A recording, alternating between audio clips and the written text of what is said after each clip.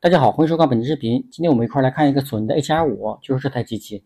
这台机器的故障可以说是比较常见，我们用微单的朋友大部分都遇到过。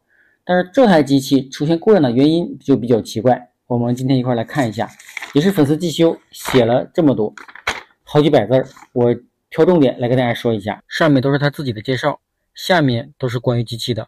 我们来看一下，主要问题是镜头调到光圈二十二。拍白纸检测，一眼就看到画面右下角有明显的大黑点。换了一个镜头，同样的故障，可以确定是机身的问题。然后 CMOS 脏了，用了四五个清洁棒，就是擦不掉。自己说自己有强迫症，然后呢，这个脏点就给他干急眼了，用清洁棒使劲的戳了一下，花了，手里的机器突然就不香了。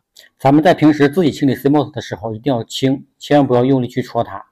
经过反复清理，如果清理不掉的话，就不要动了，尽量找专业的师傅帮你去处理，这样可以更快的判断是什么原因，然后相应的解决问题。那他这台机器为什么清理不掉？为什么我说它的故障出现的比较奇怪？那我们一块来看一下。我们在显微镜下可以清楚的看到他说的黑点儿，而且黑点儿的下方有划痕，就是他当时擦坏的那一块。显微镜的焦点对准黑点以后，划痕是看不清的，说明它俩不在一个平面。这个灰点在低通的背面，正面擦肯定是擦不掉的。还好，最后在沟通的时候，我多嘴的问了一句：“机器是不是行货？有没有保修？”结果呢，还真是行货，刚买没多久再保修。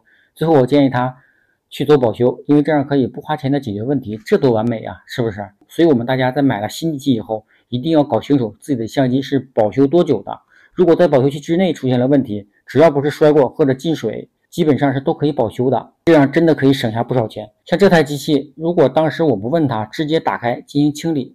它损失的可不止那点维修费，还有两年的保修期。所以，我们大家在买了新机以后，如果出现了问题，一定要先搞清楚自己的基金有没有保修，然后再决定在哪里修。